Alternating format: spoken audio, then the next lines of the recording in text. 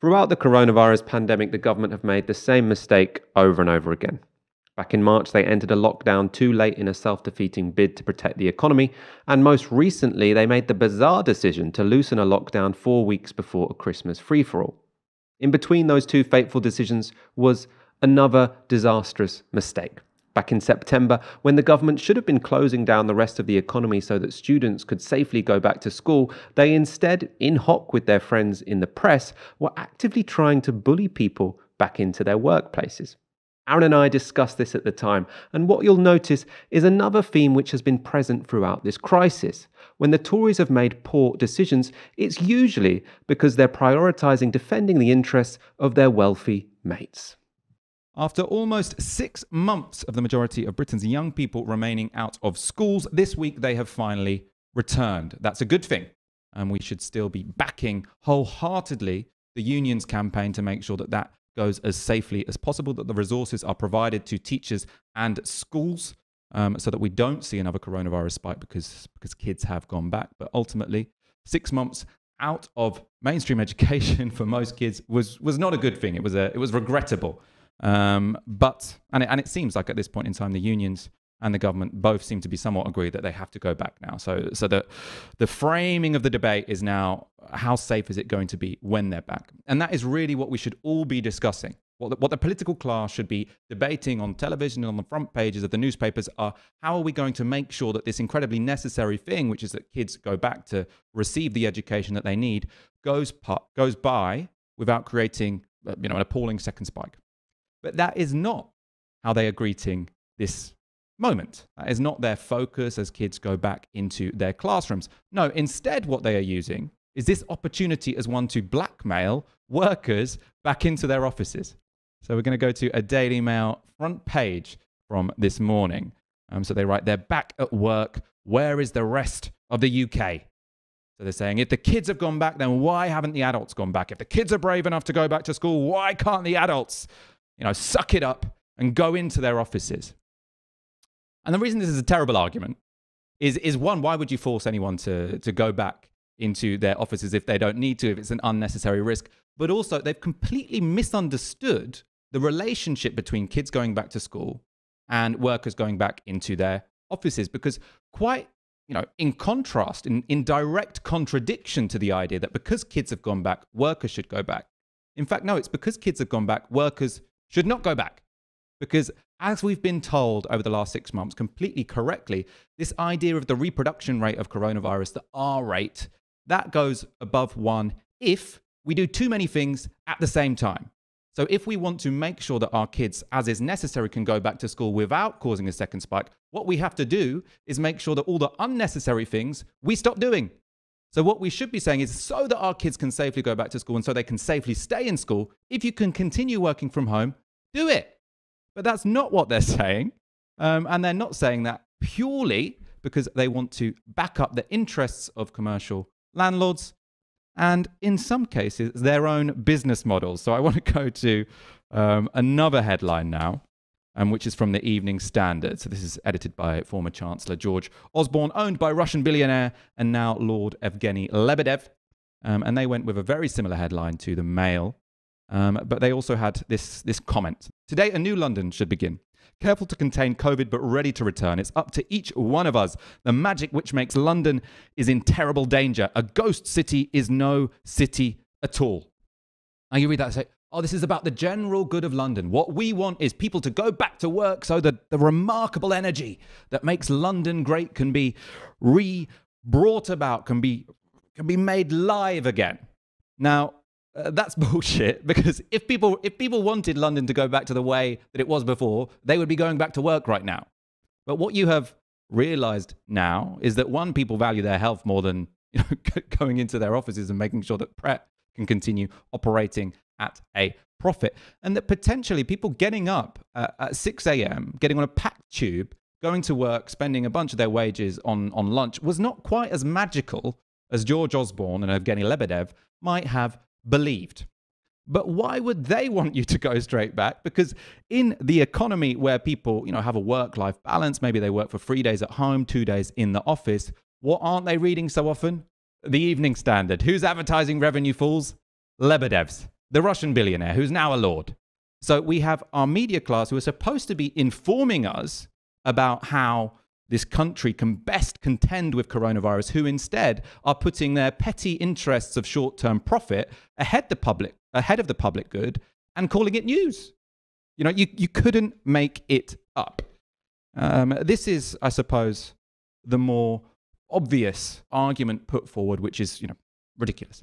Um, the more subtle argument as to why people need to go back into their workplaces, other than to relight the magic of London, is to save jobs. This was an argument made by ex Tory Health Minister Jeremy Hunt this morning on the Kay Burley show. Let's take a look. Do you think that the government did too good a job when it comes to lockdown, in that people thought, if I stay at home, I'll live, if I go out, I'll die, and now they don't want to send their kids back to school? Well, I think what we have in this country is a very sophisticated, educated electorate who understand health issues very well. And when the instructions were clear, and they were very, very clear about staying at home, people complied.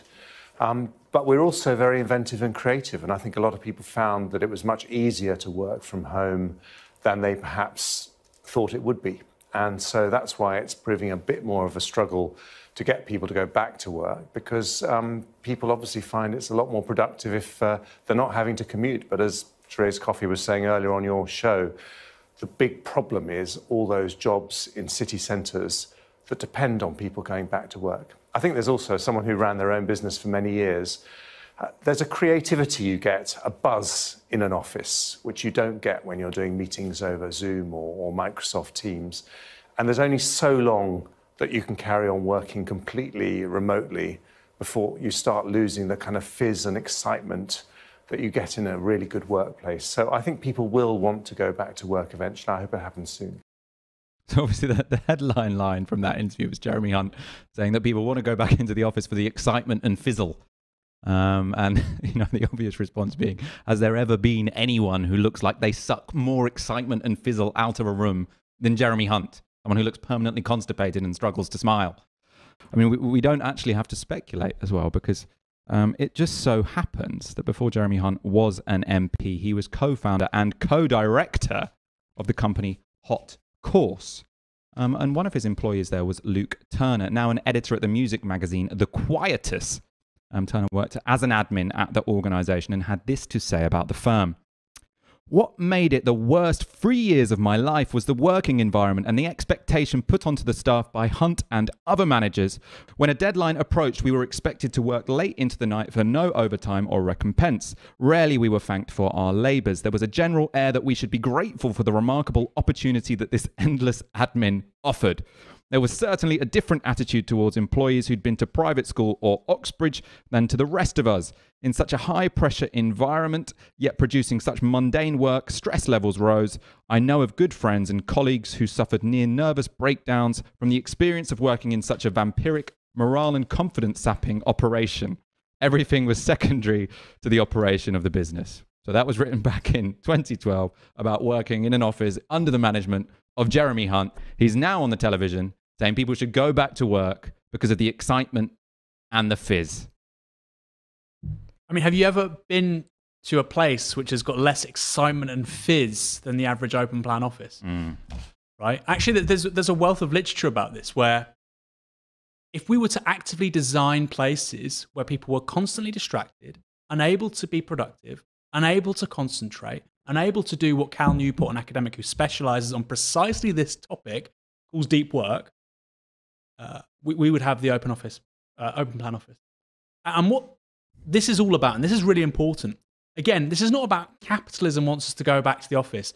Many firms would actually love to get rid of their office full time. You hear, I'm hearing this repeatedly actually from friends who work in businesses, and they're saying remote working works great. We're not going to renew the lease. That's happening a lot. And to keep them competitive to save money, they're very happy to outsource office costs to their staff, right? That's not a progressive thing, by the way but they're happy to do it. This is not about maximizing the interests of business, even. This is about maximizing the interests of rentiers, people who own the office blocks, the landlords. And this is an important fracture within British capitalism about where is value being not created, captured. And it's not by uh, enterprises that you know are creating sort of new goods and services, overwhelmingly it's by the rentier class, by the landlord class. Really important point. So this idea of us all going back to work, yes, okay, it would get Pret off life support, but the people it would serve the most are the landlord class. Uh, we're gonna we're gonna reveal something about Jeremy Hunt's relationship to the landlord class in one moment. First of all, I want to go back to that jobs point because it is going to be the politically most relevant argument which is made, which is to I suppose essentially guilt people, blackmail people, say you have to go back to work, otherwise these people, potentially on lower incomes than yourselves, will lose their jobs. Um, the obvious sort of example here, what's going to become, I suppose, the, the the archetype of the job that will be lost if people do not go back to their offices in the same numbers as before, is the person working at Pret. But then we have to ask, are those jobs really worth saving? And that does not mean should these should the people who who are in those jobs, if they lose their jobs, they obviously have to be fundamentally supported. We need retraining system. We need a green industrial revolution that means that jobs come about that people actually want to do and which actually add value. Um, but uh, do we do we want to encourage the public to risk their health, to risk the R rate rising above one, and schools having to close just to save the Pret economy? Now there was a great article um, in the FT by Sarah O'Connor. This is not a socialist publication who was saying, no, we don't want to save the Pret economy. So the article's headlined, Goodbye to the Pret economy and good luck to whatever replaces it. Cities will not die. Their benefits could become more diffuse with well paid workers spreading into the rest of the country. I recommend reading it. Great piece. So she writes High housing costs were particularly problematic for the low paid workers who made the cities run. Increasingly, only migrants seemed willing to accept low wage jobs cleaning offices or making coffee. In 2017, Pret's Director of Human Resources told Parliament that just one in 50 of its job applicants was British.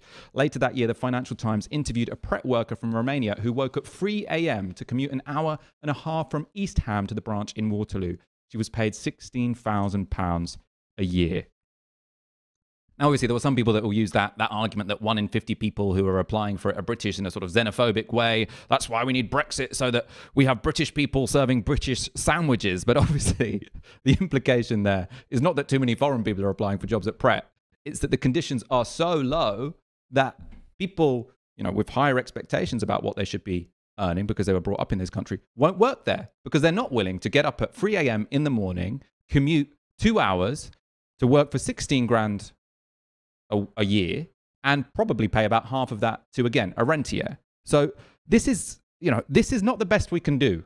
When someone says the alternative to us going back to the, the status quo as it was before is mass unemployment, you know, call their bluff. The alternative to us going back to how things were before is we have a government that takes the responsibility to bring about an economy that actually works for ordinary people, not pays them shit wages to have fundamentally a miserable life doing things that they don't particularly value and, you know, ultimately paying half of it for rentier.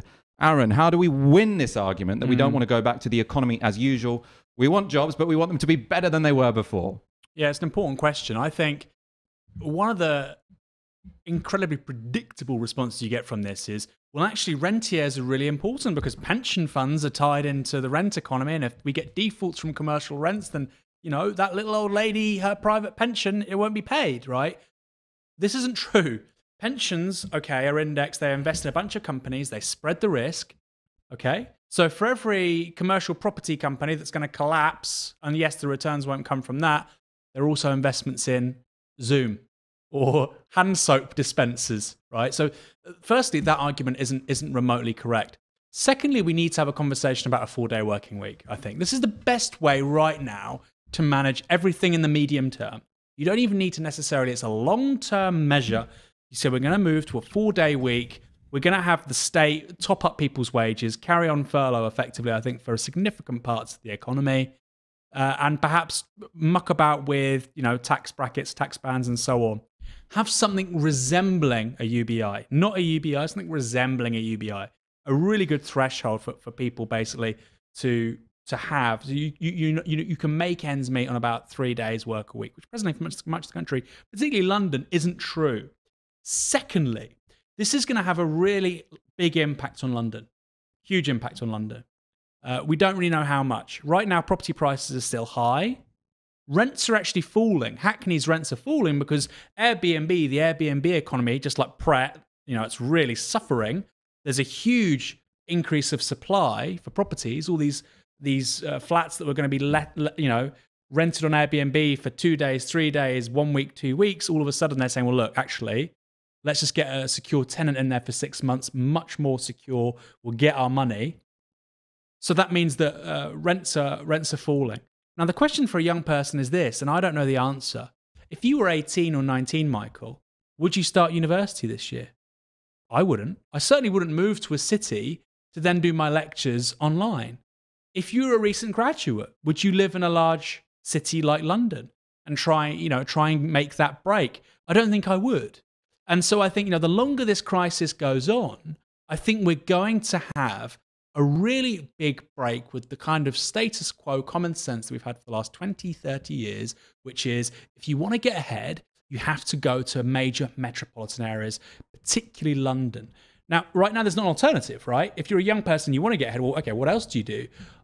That's you know that's a 64 million dollar question, but it's not going to be uh, the, the the previous kind of status quo ante, which is go to London, get an internship, get your foot on the ladder. Nobody's going to be saying that for potentially two, three years. That's a huge rupture for a generation of young people entering the labour market.